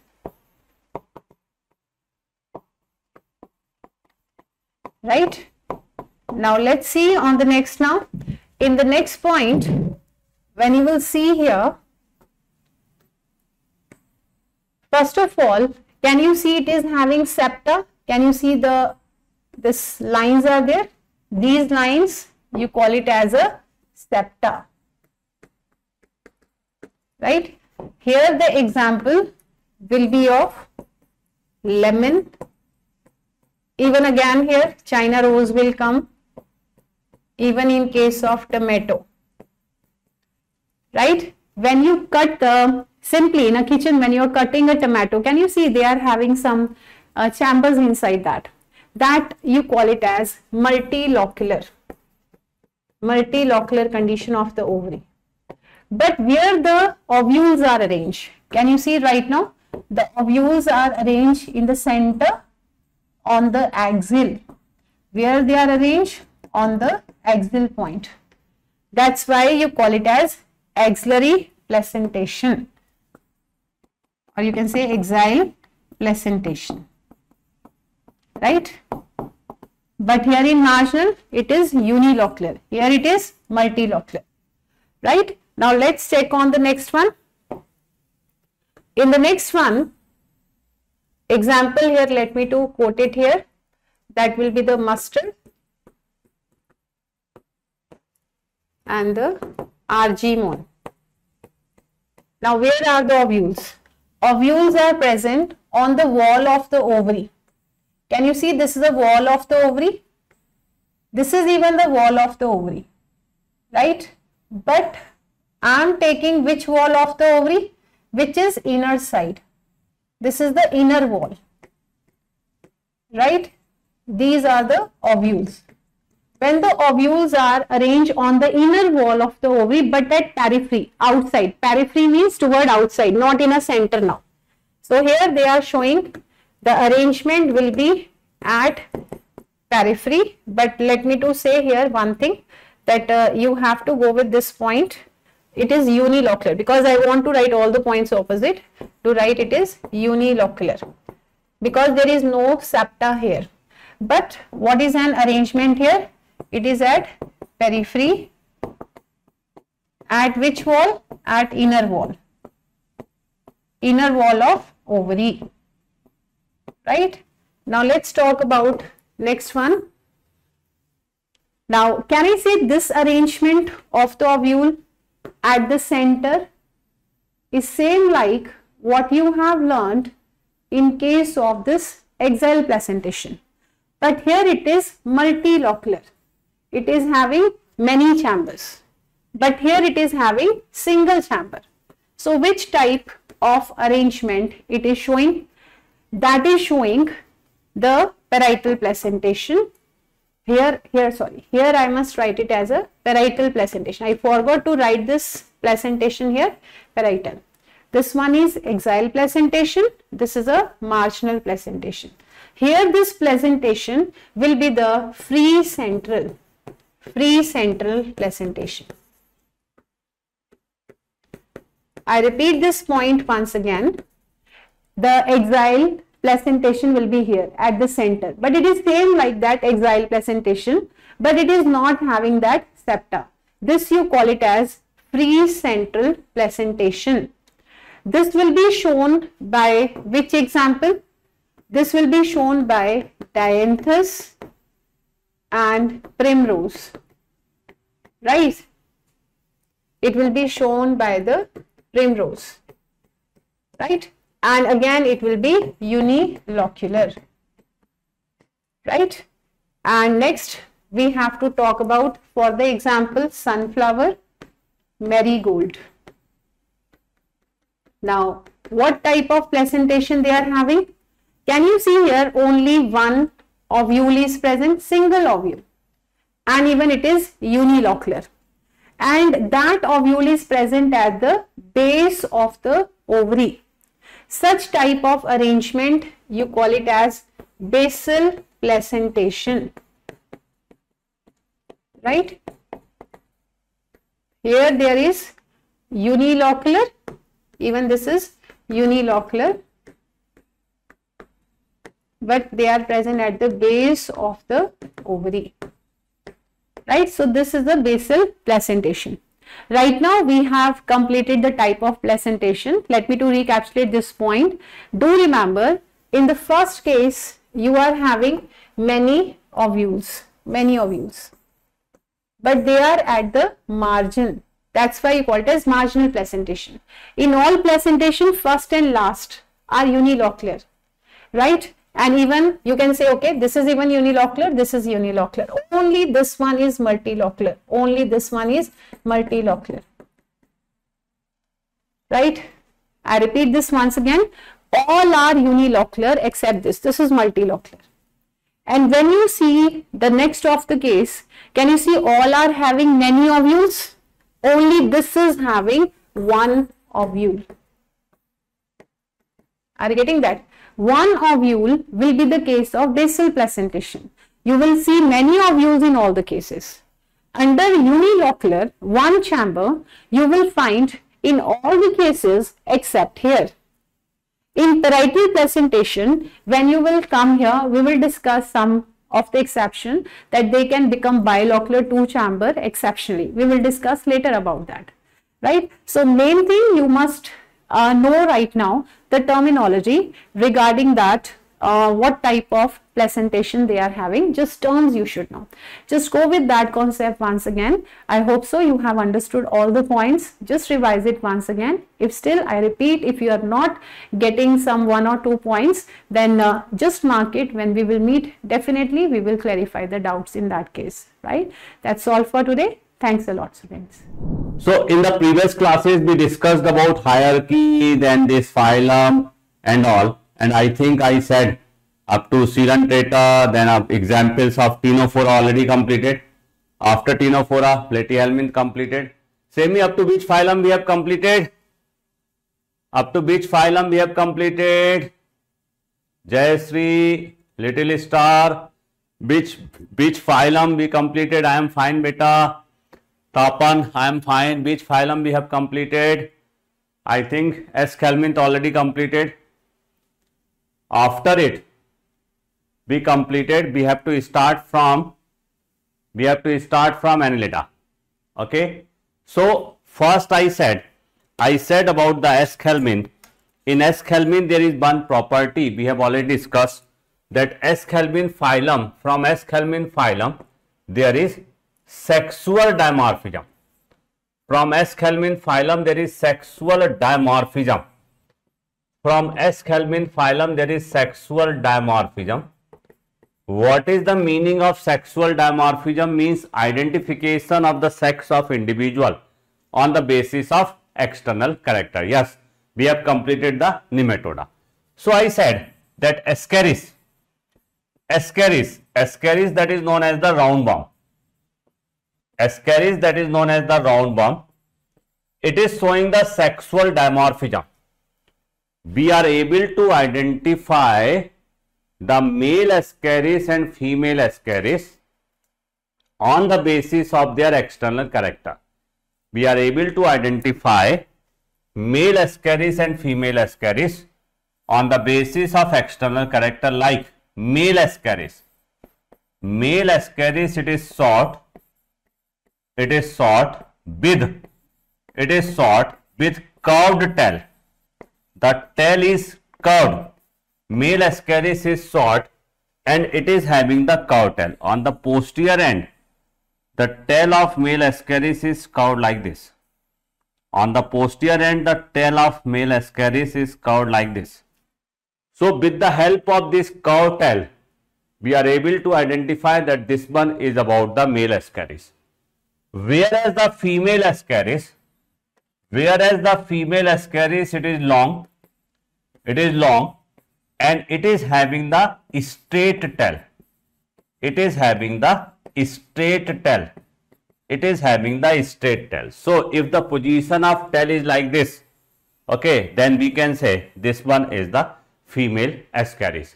So, you have to remember that sexual dimorphism means identification of the sex of individual that is known as the sexual dimorphism in male Ascaris, male Ascaris is short with curved tail and female Ascaris is long with the straight tail. Okay, so this is the sexual dimorphism that is started from from phylum Aschelminth nematoda. Now today we are coming on the next phylum that is known as the Annelida. That is known as the Annelida. So today's I am going to start from Annelida. So just see, very important why the name given as the annelida? Why the name given as annelida?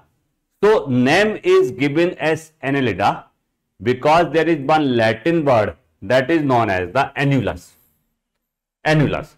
And the meaning of annulus that is the ring like structure.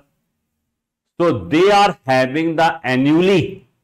They are having the annuli means ring like structure that is why the name of the phylum is Annelida.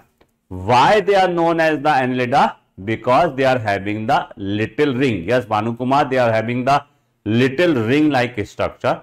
That is why the name of the phylum is Annelida. See, if I will say this is Annelida, if I will say this is Annelida, so see, like if I will say this is earthworm here, example of Annelida, so the body is divided into segments. first segment, second segment, third segment, fourth segment. Body is divided into segments. Externally by rings. On the external side, they are having the ring-like structure like this. On external side, they are having the ring-like structure. These little ring-like structure are known as the annuli. That is why the name of the phylum is Annelida. So you have to remember why the name of the phylum is Annelida. Why the name of the phylum is Annelida? Because they are having a small ring-like structure. Because they are having a small ring-like structure. These small ring-like structure are known as the annuli. In Latin, they are known as the annulus. That is why this this this phylum is known as the annelida. Yes, Tanmaya, that very good. These segments are known as the metamers. Very good. These segments are known as the metamers. Very good. These segments are known as the metamer. So, body of a coelenterate, it is having the segmented body. It is having the segmented body. It is having the segmented body and segments in case of annelida, they are known as the metamers. Okay, they are known as the metamers. So, how many phylums are having the segmented body? So, segmentation that is the annelida. Second one that is the arthropoda, that is the arthropoda. And third one that is the chordata. In these three phylum, a property is present that is known as the segmentation. Segmentation means division of the body, sir. Division of the body that is known as the segmentation and segmentation is shown by three animals of three phylum, Annelida, Arthropoda and that is the Chordata. We are also having the segmented body, head, neck, trunk, abdomen. Getting now? So, our body can also be divided into parts that is by this is the segmented body. So, Annelida, Arthropoda and Chordata, they are showing the segmented body. See, very important. First point I said, why they are known as the Annelida? Because they are having the annulus. What is the meaning of annulus? They are having the ring-like structure.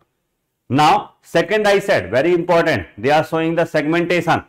Segmentation means division of the body. They are showing the segmentation means that they are showing the division of the body. So, these are two very important character that you have to remember about the about the annelida. Now, coming, there is there is there is one example of annelida. Example of annelida. This one example of annelida, it is known as the nereis. Nereis. There is one example of annelida. That example of annelida is known as the nereis. This is the one point. Related with the nereis, you have to remember one point. It is dioecious. It is dioecious. Nereis is dioecious. Nereis. Nereis is dioecious. Anyone will say, what is the meaning of dioecious? I said in the next last class, what is the meaning of dioecious? Yes, Yuvraj, what is the meaning of dioecious? What is the meaning of dioecious? I said that Nereis is dioecious. Dioecious means, okay, anyone will say, what is the meaning of dioecious? Fastest finger first, you are not replying. Yes, dioecious means unisexual. One, very good, very good, very good. Dioecious means unisexual. Unisexual. It means there is separate male nereis and separate female nereis is there. So that is why it is known as the dioecious. Nereis, it is having the lateral appendages. Nereis, it is having the lateral appendages. Lateral means on the lateral side. Nereis is having the lateral appendages like this. These all are the lateral appendages. And these lateral appendages are known as the parapodia. Nereis is having the lateral appendages and these lateral appendages are known as the parapodia. Clear? So this is the one that you have to remember. First example of annelida that is the nereis. Nereis two points you have to remember. This is one aquatic. This is one aquatic that you have to remember. It is living in the water. This annelida is living in the water. It is the aquatic. So three points you have to remember related with the nereis I said. First point you have to remember it is the aquatic annelida. Aquatic annelida. Second point I said it is dioecious. Dioecious means unisexual. Male nereis is separate from female nereis. And third point I said it is the parapodia. It is having the lateral appendages which are known as the parapodia.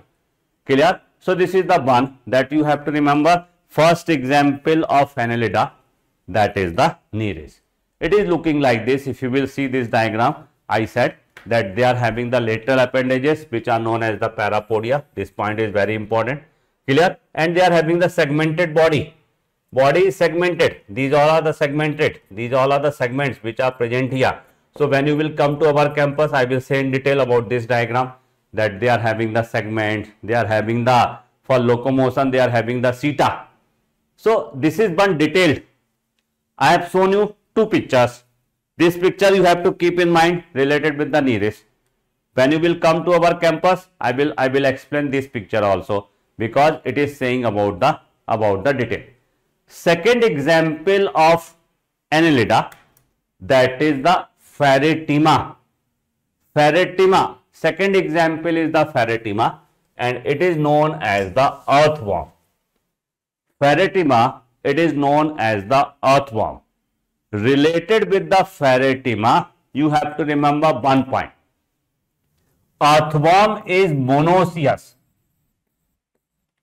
Earthworm is monoecious. Anyone will say, what is the meaning of monoecious? I said in the last class, earthworm is monoecious. What is the meaning of monoecious? Monoecious. Yes, anyone will say monoecious. Yuvraj, what is the meaning of monoecious? Pheretima posthuma. Okay, yes, yes, yes. Dikshita, that is bisexual. Monoecious means bisexual.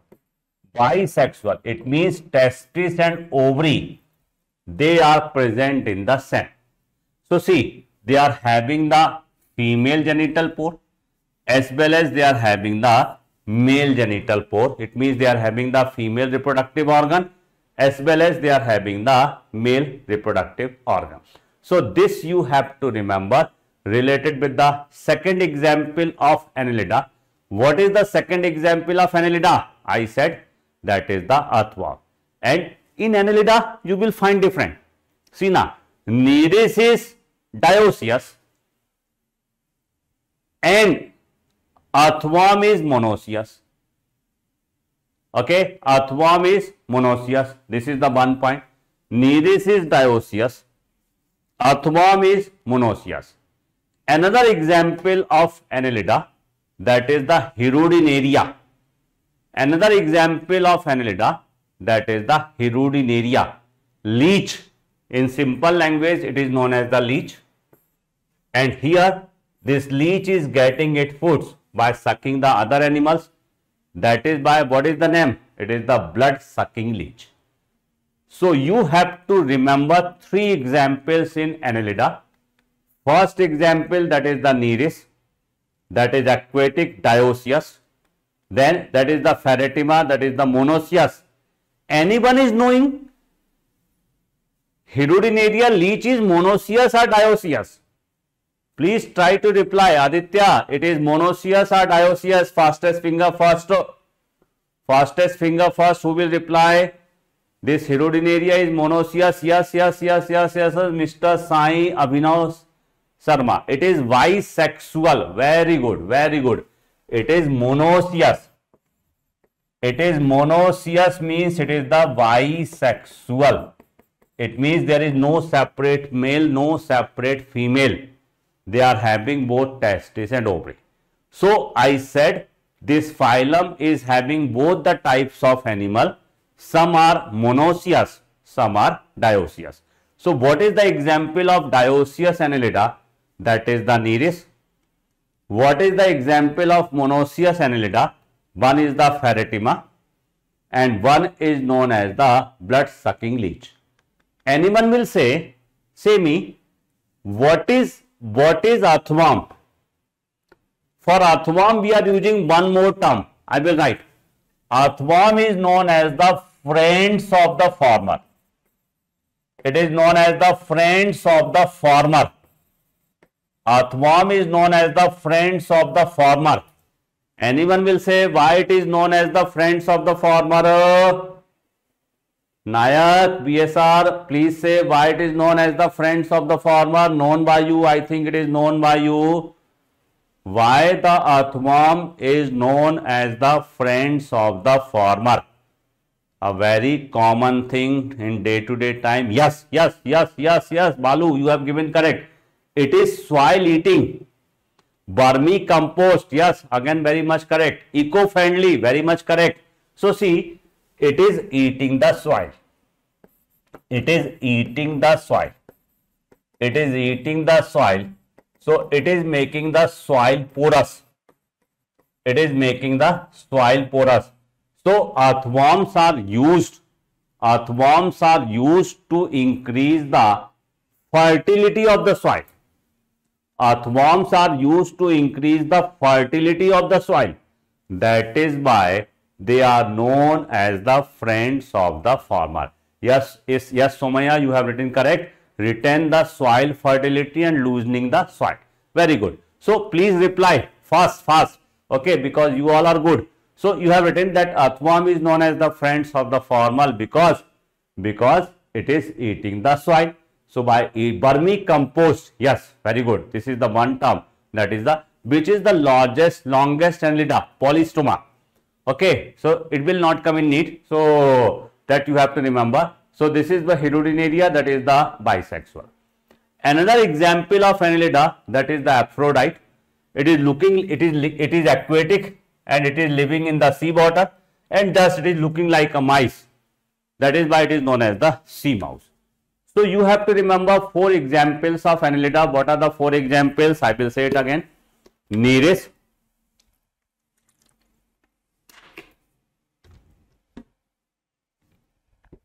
that is the first one.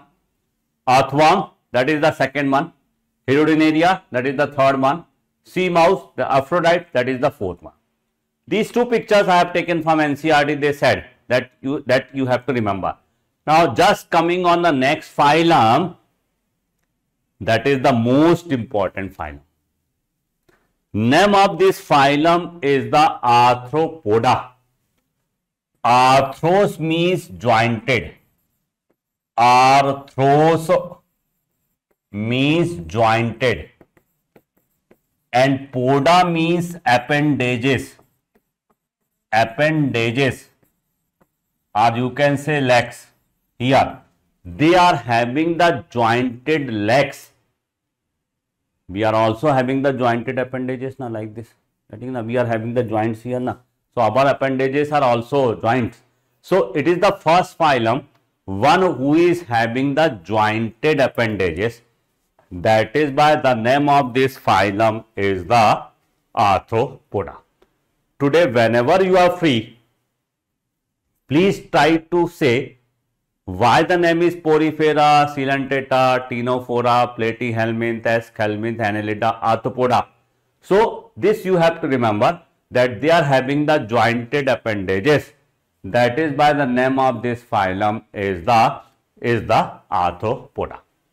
Now, jointed appendages and they are having one another character that is the chitinous that is the chitinous exoskeleton that is the chitinous exoskeleton chitinous exoskeleton the exoskeleton which is made up of chitin. When there is chitinous exoskeleton which is made up of chitin, it is able to prevent the loss of water. What is the function of chitinous exoskeleton? It is for protection, first point that is for protection and second one that is the that is to prevent second point that is to prevent the loss of water. It is also preventing the loss of water. So arthro the arthropoda two important characters which are present in all arthropodans that is one that is one you have to remember one that is that is jointed legs jointed appendages. Okay and second one second one that is the i said it is chitinous exoskeleton. Chitinous exoskeleton means that is made up of chitin. So arthropoda is considered as the most successful group of animals. Arthropoda is considered as the most successful group of animals. Arthropoda is considered as the most successful group of animal. Why? Okay, why? Just see why it is considered as the most successful group of animal because they are having the jointed legs and they are having the chitinous exoskeleton. So, chitinous exoskeleton it is for protection and jointed leg jointed leg they are for the movement. That is why it is the largest phylum. Largest phylum of animal kingdom that is the arthropoda. Anyone will write what is the second largest phylum of animal kingdom. The first largest phylum is the arthropoda. What is the second largest phylum? Fastest finger first, please write your answer. Okay, please write your answer. What is the second one? Second largest phylum. First I said Arthropoda. What is the, yes, yes, yes, yes, yes, yes, yes, that is the cheerful astronaut. Please write your correct name because you are good in zoology. I want to show a correct name. So just see that second largest phylum that is the mollusca. Second largest phylum that is the mollusca. In the largest phylum Arthropoda, the largest class is Insecta largest class is the insecta. Insecta that is also known as the hexapoda. Insecta is also known as the hexapoda. Why it is known as the hexapoda? Because it is having the six legs. Okay, three pairs of, it is having the three pairs of jointed legs. It is having three pairs of jointed legs so, the largest phylum is the arthropoda and the largest class of this arthropoda that is the insecta. And it is written in the books out of 10 animals. Out of 10 animals how many insects are? That is the 7 insects are there. Out of 10 animals there are 7 insects. Yes basant it is having the 6 legs that is by sign it is known as the hexapoda. Very good. So that is the one that you have to remember that it is it is having the it is having the it is having the three pairs of jointed legs that is why it is known as the hexapoda. So insecta is also known as the hexapoda. Clear? Insecta is also known as the hexapoda. What is the characteristic of insecta? Three pairs of legs, three pairs of legs and two pairs of wings. Three pairs of legs and two pairs of wings. This is the characteristic feature of insecta. Three pairs of, yes, yes, yes, yes, ready, Apis, Bombyx, Laccifer. Yes, these all are insects. I will say all the example, but you are trying your level best. It's good. So now that the largest phylum is the arthropoda. I said why it is known as the arthropoda. What are the two common characters of arthropodon? Then I said what is the name of the largest class of the uh, arthropoda? That is the insecta. Insecta that is the hexapoda that you have to remember. Insecta and just just uh, six legs, three pairs of jointed legs are there. Three pairs of jointed legs are there respiration first seen in arthropoda with the help of, just see here, a well developed like Asna Tanmay said, na, respiration. So in, in arthropoda, there is a different respiratory system, tracheal system. Tracheal system. This is the one that you have to remember that they are having one well developed respiratory system, tracheal system. So I said jointed appendages. Now, arthropoda, when we are discussing about the examples of arthropoda, arthropoda is a very good, okay, yes Dikshita, you are correct, it is the tracheal respiration, tracheal with the help of trache, okay, with the help of trache, they are having the trache. Now, when we are saying about the arthropoda, arthropoda is very important, fine. Animal of one of the animal are so many animals of arthropoda, they are giving some products which are economically important insects. Economically important insects. Anyone will say the name of any insect which is producing the honey. Honey, everyone knows about the honey. Honey is produced by, yes, yes, yes, Tanmay, you are writing correct. Tanmay, you are writing correct. Anyone else? What is the name of the insect which is yes manga? Okay, that is the honey bee. Honey bee. Honey bee that is known as the Apis indica. Apis. What is the name? What is the genus? What is the genus here? That is the Apis. So Apis indica. It is the name of the Indian honey bee. This is genus and indica is the species and this honey bee is producing the honey and honey is an economically important product. What is the name of the branch which is related with the production of honey bee? Fastest finger first. Your time starts now. What is the name of the branch which deals with the production of honey. If you will give the answer of this question, who will write the answer of this question? My question is, what is the name branch of the science which deals with the production of honey? Honey is produced by apis. So, yes, yes, yes, yes, yes, yes, Jupati Dhanayesh Sai Subramanyam. You have written the fastest finger first the there is one branch of the science that is known as the apiculture. Apiculture. Culturing of honeybee and all for the production of honey that is known as the apiculture. So apiculture that is the branch of science which is related or which deals with the production of honey.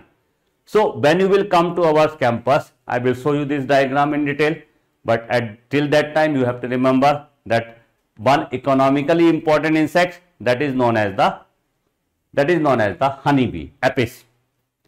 Any other example of insecta which is producing one useful substance for human beings. Any other example of insecta which is producing helpful thing are economically important thing for human beings. Yes, yes, yes, yes, cheerful astronaut. Please correct your name beta because you are good in zoology. Yes, it is the silk bomb. Silk bomb. Just see. Bombyx mori. It is known as the silk moth. Silk moth. And it is used or it is producing one very important product that is known as the silk. Have you listened about Karnataka? One place Kanjivaram, silk saris. They are at that uh, uh, that's that uh, they are producing the silk. Silk is produced by silk moth. Bombyx. Silk is produced by silk moth. Okay, Salim, you are asking about the methodology that is big. It will we will explain it when you will come to our campus. Same like apiculture is related with the honeybee Yes, yes, already written, already written. Dikshita. Yes, yes, very good. Sericulture. Sericulture. Sericulture that is related with the production of silk from this Bombyx mori. So, don't think about the insects. They are only causing like plasmodium is causing that uh, uh, malaria, that uh, bite of the anopheles causing the malaria. They are the transmitting They are producing some very important products also. I said na honey. Honey is produced by honeybee, apis. Silk is produced by silk moth. Yes, yes, yes, Ganesh, you are absolutely right. How you know that I am going to ask the next question, Ganesh? That you have listened the Laccifer. Laccifer lacca. It is known as the lac insect. It is producing one product that is known as the lac. Yes, very good. So, I said there are three economically important insect. One, what is the side heading we are discussing? Economically important insect. Economically important insect, first one I said apis, that is the honeybee. Second I said that is the Bombyx mori, that is the silk moth. And third I said about the Laccifer, lac insect. Yes, very much correct, Laccifer. Okay, okay, very good, very good. All are writing, that is the insect. Okay, so these are the economically important insects means they are producing the economically important products. Now, some insects are bad also, like some human beings are good and some are bad also. Simply in every phylum, some are good, some are bad. Some insects are giving us uh, useful product, some are dangerous for us. We have to use the mosquito coil, mosquito repellent, anyway, mosquito nets. Anyway, we are trying to protect ourselves from the mosquitoes because they are the vector what is the meaning of vector? One who is transmitting the pathogen from infected person to the healthy person. One who is transmitting the pathogen from infected person to the healthy person that is known as the vector. That is known as the vector and the vector mosquitoes are very very dangerous. Mosquitoes are very dangerous. What are the three examples of mosquitoes? Anopheles culex and aedes. Anopheles culex and aedes. Okay they are the vector. Remember mosquitoes not causing any disease disease is caused by someone else they are only the vector. Vector means they are transmitting the pathogen from one infected person to the normal person. Are you getting infected person to the normal person? So, first of all, that is the anopheles. First vector that is the anopheles. I think definitely you have listened about the anopheles. Anopheles is a transmitting mosquito for which disease anopheles is a transmitting mosquito और vector for which disease name of the disease known by you yes Tanmay malaria very good malaria malaria is cause by a pathogen that is known as the plasmodium Malaria is caused by one pathogen that is the plasmodium. Basically, it's a protozoa. And this plasmodium from infected person, from infected person to the healthy person.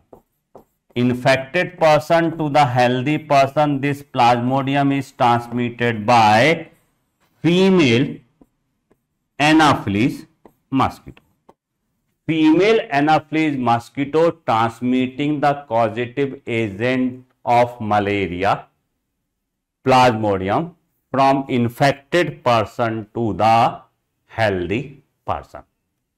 Now, one curiosity in me, please help me. Why only female anopheles mosquitoes are transmitting the plasmodium from infected to healthy? Why not male anopheles? what the male anopheles are doing. Anyone will give the answer of this question. Why only female anopheles? Yes, fastest finger first. Please reply. Why only male? Why only females are transmitting the disease? Why only females anopheles are transmitting the disease? Yes, yes, cheerful astronaut. It is for reproduction because they need blood. Why not male? Because males are not sucking the blood female anopheles mosquito, female anopheles mosquito, it needs the human blood. for its reproductive purposes. That is why female anopheles mosquito is sanguivorous, blood sucking. It is blood sucking. So this is the one anopheles. Anopheles it is the vector uh, a vector of malaria. Culex another malaria another uh, mosquito which is which is transmitting the disease that is known as the Culex. Another one that is known as the Aedes. Aedes aegypti. It is known as the tiger mosquito. Which disease pathogen is transmitted by Aedes and which disease pathogen is transmitted by Culex? So I think you know one disease that is known as the filariasis. Filariasis. Filariasis disease is also known as the elephantiasis. Elephantiasis and it is caused by one nematoda that is the Wuchereria. Wuchereria that is also known as the filarial worm. Filarial worm. Why? Why this that uh, why filariasis is known as the elephantiasis? Because the leg of a person is become like the leg of the elephant. So this is the one. This is the one you have to remember. Two legs. When I am saying about the Aedes, Aedes. So I think you have listened the name of one disease, dengue. Dengue. Dengue disease, which is very common. Dengue. Dengue in which the platelet count decreases. And when the platelet count decreases, the person is in threat because platelets are related with the clotting of blood. So you have to remember that three, three, they are very important. Mosquitoes are useful also. Apis producing honeybee, okay. Bombyx producing silk moth. Then Laccifer producing lac insect. But Anopheles transmitting plasmodium, causative agent of malaria. Then I said Culex transmitting filariasis. Then Aedes, dengue, dengue, dengue virus. It is uh, one that you have to remember so there are varieties of mosquitoes that it is you have to remember.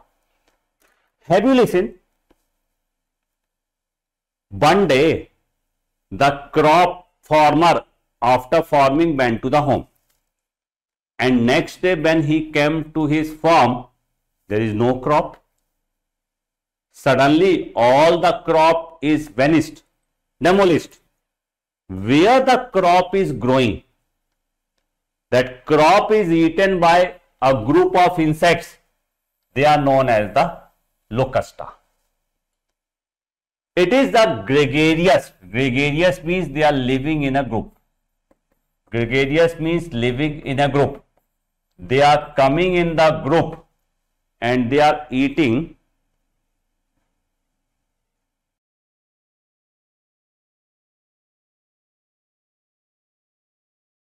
are coming in a group. Okay, gregarious means what is the meaning of gregarious? They are living in a group. They are living in a group. They are living in a group. They are coming in a group in thousands and they are eating entire crop. That is why it is known as the gregarious pest. It is very dangerous. Locusta. Locust. It is very dangerous. It is huge group. Yes, huge group is there and uh, this this is very dangerous. Okay? That is one point you have to remember. Another example of that arthropoda you have to remember this is one locusta. Another example living fossil.